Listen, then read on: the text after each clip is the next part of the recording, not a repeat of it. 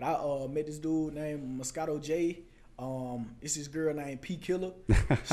She, P Killa is like five for five lately on these interviews. Hey, yeah, tough, fool. Like she she buzzing. Like I'm Mhm. like damn. So I met her. You feel me? Um, at crew, we we both performed at crew. You feel me? We chopped it up and shit. She tough, and I think she gonna be at this house party.